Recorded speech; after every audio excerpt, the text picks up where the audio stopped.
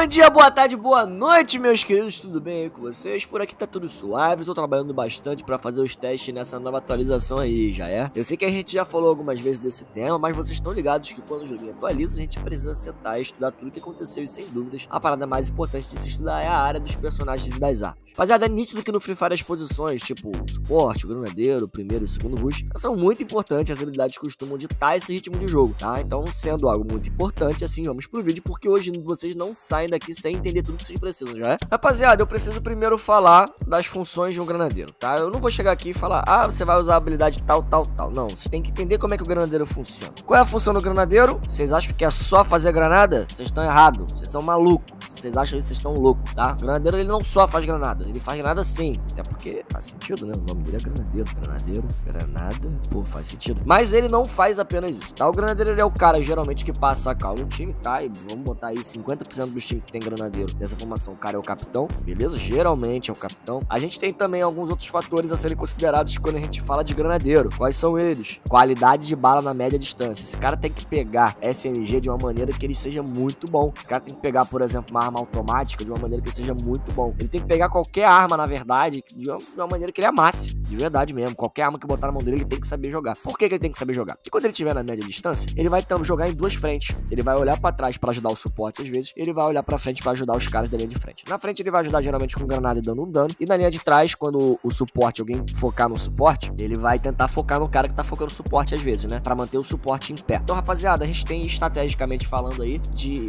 a gente tem várias maneiras de trabalhar com granadeiro. E, cara, as habilidades, elas são bem, elas são bem padrões, são bem padronizadas, tá? E a gente tem muita coisa a falar sobre as habilidades. Mas só para fechar para vocês, pra vocês entenderem direitinho por que, que as funções do granadeiro vão muito além de apenas fazer granada. Ele é o capitão, ele é o cara que vai geralmente fazer a diferença na hora de uma trocação, seja dando um dano numa granada, seja derrubando alguém na bala, seja avançando para poder complementar na linha de frente, seja recuando com os jogadores de rush. Então ele tem que ser o cara mais inteligente do time, na minha opinião. O granadeiro ele tem, ele é o coração do time. Ele e o suporte. São caras geniais. Eles precisam entender muito do jogo. E aqui na Verum é o que eu tenho. Eu tenho um Corumbá e um Muniz que amassam muito. Então não tenho muito com o que temer, beleza? Mas rapaziada, vamos lá para as habilidades para eu falar com vocês. Tropa, vocês sabem que eu sou o cara que, que gosta muito de falar que é o seguinte: qual é? Tu quer, tu quer fazer A, B e C? Mesmo eu falando D e F? Cara, vai lá, faz, testa, entendeu? Eu sempre defendi muito que as pessoas têm que testar as coisas, tá? Não adianta você chegar aqui e falar, ah, vai usar A, B e C sim, pô, pega aí e usa que vai dar certo. Não, pô, não é assim que funciona, entendeu? Você pode ser um cara que joga de uma maneira completamente diferente da minha e dá certo. Você pode ser um cara que joga de uma maneira igualzinha a minha e dá errado também. Varia, né, cara? Varia, varia de muita coisa. Mas uma coisa eu dou certeza aqui para vocês.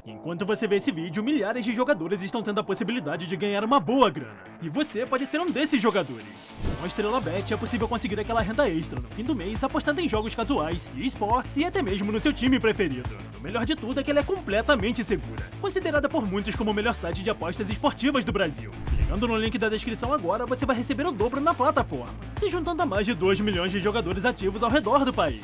Granadeiro precisa usar o Álvaro. Ponto. Primeiro, o que é o Álvaro? Cara, Álvaro ele vai te dar mais 20% de dano em dano explosivo, tá? Ele vai aumentar o alcance das suas granadas em 10%. Cara, isso é muita coisa. E não é só da granada, não, é do lança-granada também. Isso é muito forte, tá? Vai ajudar muito vocês, muito. Tipo, não é pouco, não é muito. Tá? Então o Álvaro precisa estar presente. Uma outra habilidade que a gente vê muito presente nos granadeiros é a Moco, tá bom? Ribeiro, por que a Moco? Porque a Moco, cara, vou te dar um exemplo. Vocês estão rotacionando, né? Pá, estão, por exemplo, fazendo aquela saída ali de Bimazact, estão indo pra um galpão para poder marcar o pessoal de observatório. Aí vocês demoraram um pouquinho mais, o pessoal de observatório já encostou, tá o seu justo ali na frente você tá posicionado para fazer as granadas. Se der dano em alguém, se der 180 de dano em alguém, esse alguém que você deu dano tem que estar tá marcado. Esse cara tem que estar tá marcado pro cara da linha de frente saber em quem que ele vai ruxar. Fez a granada, deu dano 180, o cara tá com 20 de vida. Aí o cara do rush ele vai ruxar em quem? No cara que tá marcado, certo? Deu 180. Então qual é a parada? A Moco ela dá uma ajuda referencial enorme. Quando o time é muito bom, e eu falo isso por causa do meu time, quando o time é muito bom e o time já se entende, tem uma comunicação limpa, linda, coisa linda, perfeita, a Moco ela se torna um pouco dispensável, beleza? O único dis realmente dispensável aqui na composição para mim é o álbum, tá? Ele não pode ser trocado. A Moco pode ser trocado por quem? Cara, depende do granadeiro. Meu granadeiro ele prefere, se quando ele tira a Moco, ele prefere, por exemplo, botar um Andrew despertado, certo? Eu já vi ele botando um Rafael e eu prefiro, inclusive, o Rafael, já pra ele. Vou falar sobre o Rafael aqui também na composição. E é muito importante, tá? O que pega mesmo no granadeiro é a quantidade de habilidade ativa que a gente tem a considerar. Eu vou falar disso já já. Uma outra habilidade, rapaziada, é o Rafael.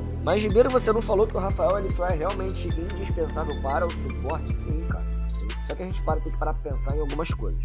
Existem várias situações, cara, no próprio Free Fire, em que se torna muito complicado você jogar sem o Rafael. Eu vou dar um exemplo, tem dois mapas que a gente precisa usar o Rafael, que são mapas que o pessoal não entende muito bem, tem um pouco mais de dificuldade. Kalahari, o máximo de pessoas do seu time que tiver Rafael é bom, porque vocês vão derrubar, e arma de um tiro em Kalahari costuma funcionar melhor, porque tem muito, muito lugar muito alto, muito lugar muito baixo, com exemplo de refinaria, posto do comando, aqueles morros lá da parte do norte do mapa de assentamento, câmara, prisão, entendeu? Santuário, então se torna bem diferente. Então o Rafael para Kalahari ele é um mapa muito interessante. Um Rafael, por exemplo, também para o Alpine, ele se torna muito interessante porque o pessoal não entende na geografia do mapa ainda. Então os caras às vezes vão chegar para salvar alguém e não vai nem saber onde o cara tá, porque o Alpine tem disso, entendeu?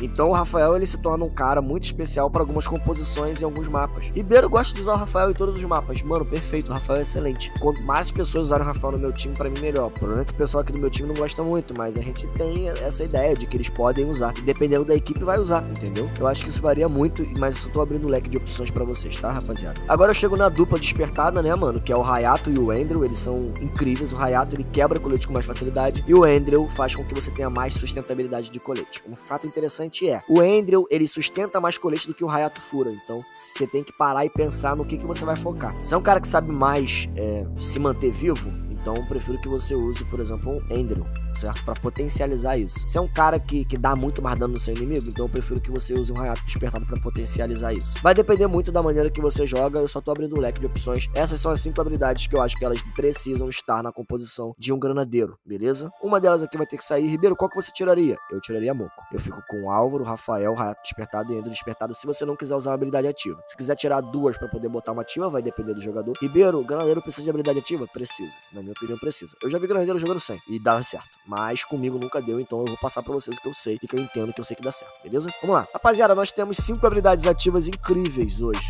no meta do jogo que estão sendo muito usadas. Quais são elas, Ribeiro? A124, CR7, Skyler, Romero e Extrema. Ribeiro, Extrema, Ribeiro? Sim, cara. O Granadeiro tem, já vi composição que o cara pega, bota um Álvaro, bota só um Rafael, bota um Extreme, bota um Nairi, por exemplo. Aí ele compra Extreme com o Nairi, que ele quebra gelo, que é uma beleza. Então, a parada que eu ia trazer pra vocês é que a Extreme ela se torna útil em algumas situações. Vai ser todas? Cara, não, não vai. Tô, tô sendo bem honesto com vocês, não vai ser válido em todas. Então, sobra quatro habilidades que são excelentes. A 124 tira a habilidade dos outros, irmão. Isso aqui é ridículo. Você acertou, tirou a habilidade de dois durante muito tempo. Seus russos, você solta as coleiras dos pitbulls. Os caras vão para dentro e arregaça. Vão muito bem, muito bem, certo? O CR7, cara, ele se torna mais interessante quando você não quiser cair. Eu esqueci, inclusive, de falar sobre a habilidade, que é a Steph, tá? Eu vou adicionar aqui, vou falar sobre a Steph com vocês, pode ficar tranquilo. Mas enfim, o CR7, se você quiser se proteger de bala de granada durante uma granada só, porque na verdade você ativa o CR7, você consegue fazer uma granada, você não consegue fazer mais, né? No time de você esquentar a granada. Se você quiser fazer só não tomando dano explosivo, você desce uma Steph, utiliza a Steph e chove granada nos caras. Chove, chove, chove quando você quiser, porque a Steph tem mais tempo, beleza? Eu prefiro o CR7 a Steph, mas aí depende do time, depende do estilo de jogo, depende de muita coisa, certo? Só tô abrindo o leque aqui pra vocês experimentarem e ver o que vocês acham melhor. Também tem o Skyler, tá? O Skyler no Granadeiro é quando todo mundo tá usando o Skyler, né? Geralmente o time da PEN, na série B passada, eles costumavam fazer muito isso, faziam muito bem. Inclusive foram campeões, é um time que eu respeito muito. E